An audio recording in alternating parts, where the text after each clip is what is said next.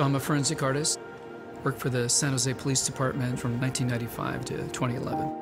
I showed up to a place I'd never been, and there was a guy with a drafting board. We couldn't see them, they couldn't see us.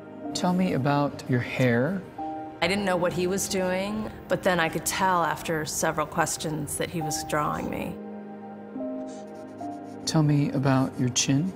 It kind of protrudes a little bit, hmm. especially when I smile. Your jaw.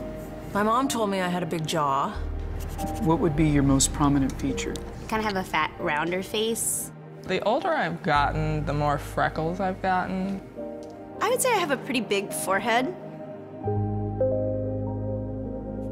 Once I get a sketch, I say thank you very much, and then they leave. I don't see them.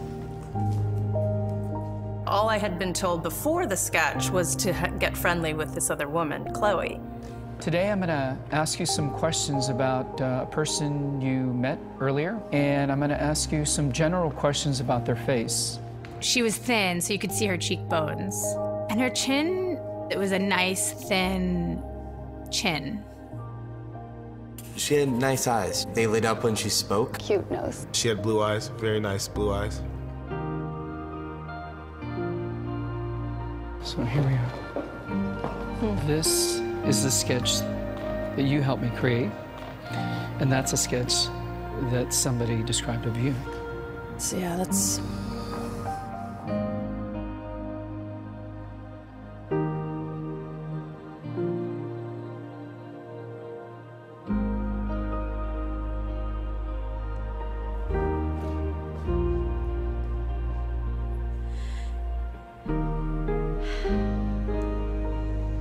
She looks closed off and fatter, sadder too. Mm-hmm. The second one looks more open, friendly, and happy. Mm-hmm. I should be more grateful of my natural beauty. It impacts the choices and the friends that we make, the jobs we apply for, how we treat our children. It impacts everything. It couldn't be more critical to your happiness. Do you think you're more beautiful than you say? Yeah. Yeah. We spend a lot of time as women analyzing and trying to fix the things that aren't quite right. And we should spend more time appreciating the things that we do like.